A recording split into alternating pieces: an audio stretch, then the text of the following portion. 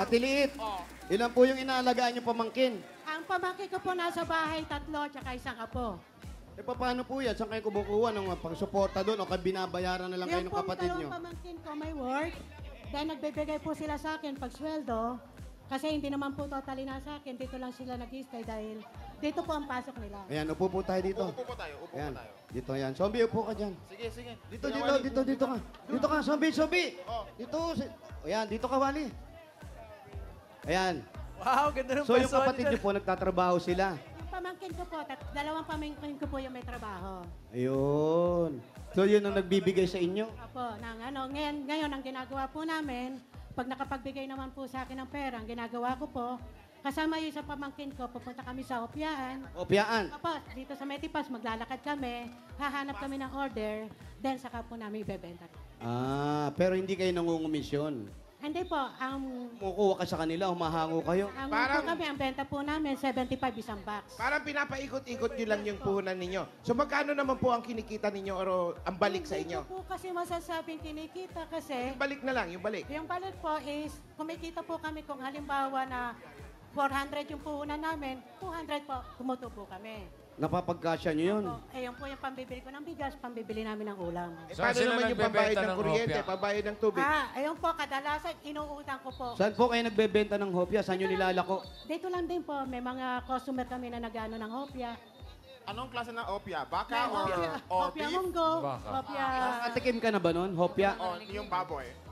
Alam mo, baboy. alam, alam mo ba, Hopya munggo, kung ano, natikman mo hopya? na. Alam mo yung hopya? Opo, alam ko, yung parang medyo circle, yung parang round siya, tapos ah, may Oh. lasang baboy. Tapos, Okay, meron niyang Oh. square.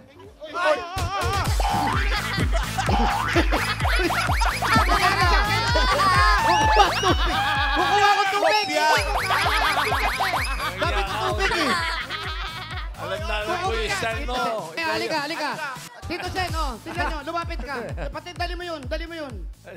Oh, yan, naabot akong tubig eh, Tito Sen. eh. Oo nga naman. Kukuha akong tubig eh. Oo. Ano to? Baka nauuhaw din.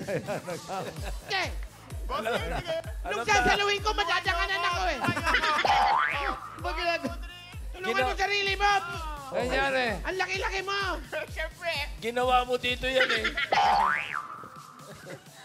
Ginawang slide. Pwede naman kasi pagduktungin. Diyan ka. Talagang sinetak ko rin. dalawa, ito dalawa. Oo, sabay, dalawa. Pati si Ate Liit, itinayo mo eh. Hindi, sabi sabi ko, Ate Liit, dahil siya nagsasalita.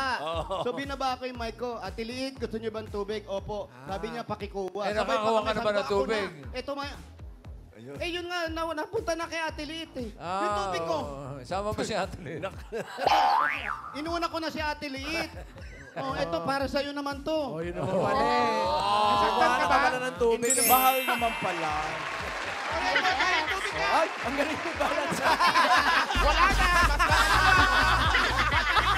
Patalino! Fast learner. Wala na! Wala na! Natalino. Kailangan talaga masasaktan ka muna bago ka tumalino.